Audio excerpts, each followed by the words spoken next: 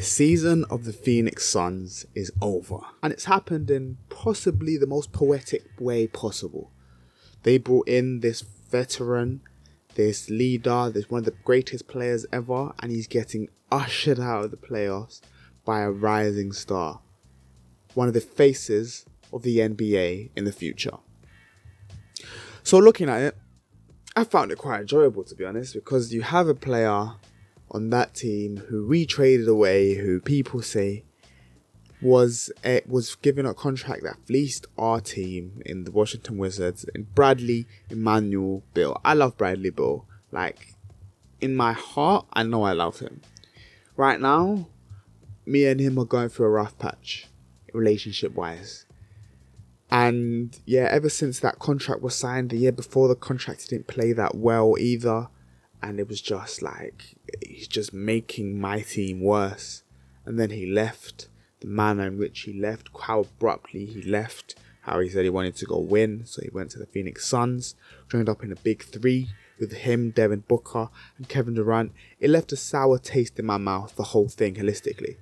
But man, Michael Winger, Dawkins, they cooked. They really did cook and Bradley Beal just had a, a, poor, poor showing in the playoffs this year. There was one game, game three, he had a pretty good game. I think he scored like 26 or 28 points. I don't know. He scored, scored a bunch of points. Uh, but this game here, he scored nine points. I think he shot like full 30% from the field, uh, six turnovers, six personal fouls, so he fouled out as well.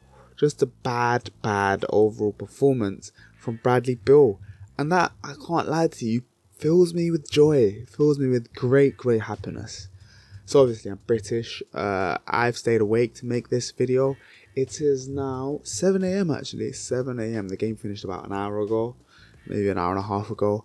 And I need to record this before I go to work as well. I actually have work. I start work in two hours 15 minutes. So that's fantastic. Uh, but I needed to make this video because the Phoenix Suns we need to talk about how it's failed. The experiment's failed. The big three has failed. Frank Vogel has failed. They wanted to play without point guard. That didn't work. They wanted to have three predominantly scorers. They wanted three scorers on their team, not balance, not a well constructed roster. They wanted three scorers on their team. Didn't work. Devin Booker could could play the point. He isn't a point guard. Bradley Beal could play the point. He isn't a point guard. Kevin Durant can't play the point. So that, that wraps up there. And a lot of the time we've seen Kevin Durant get relegated to shooting in the corner. That's not Kevin Durant. Kevin Durant, like one, like I've said several times, one of the greatest plug-in players ever. You can put him in any system and he will play fantastically. But once you relegate him, he's not going to play as good as he can.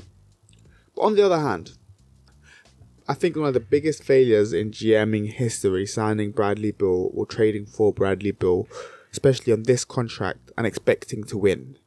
You've taken a player who hasn't experienced winning since 2018, really. I mean, even the season we made the playoffs with Westbrook, we still had a losing record.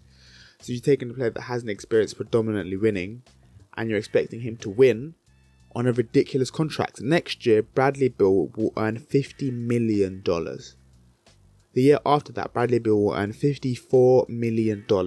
The year after that, Bradley Beal will earn $57 million.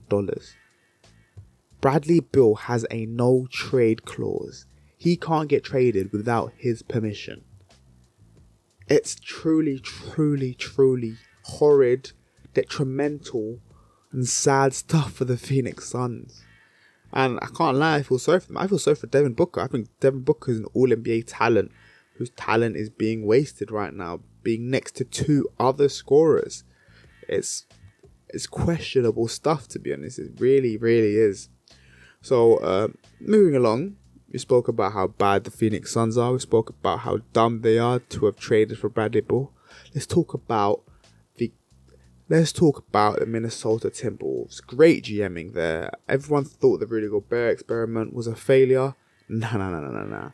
They just needed one season to pick it up and now you've got mismatch hell in Karl-Anthony Towns defensively, a mismatch hell with him playing the power forward, and it's difficult to have a guy that big who can shoot the ball, who can put the ball on the floor, who can also finish inside the paint as well, can do all three levels. but he's seven foot tall and he's a post player. It's it's incredible. It's incredible stuff. Rudy Gobert, obviously one of the best defenders in the NBA, candidate for defensive player of the year, and obviously the future face of the league, Anthony Edwards. There's not enough superlatives for me to talk about how good Anthony Edwards is. Anthony Edwards is one of those players who enjoys the bright lights, and there's not many of those players in the NBA right now. We see a lot of players get to the playoffs and the lights are too bright for them. The stage is too high for them. It's too difficult for them to turn it on. Anthony Edwards relishes that moment. He's playing against his idol in Kevin Durant. He's playing on the greatest stage of them all, and he's performing better than he has in the regular season.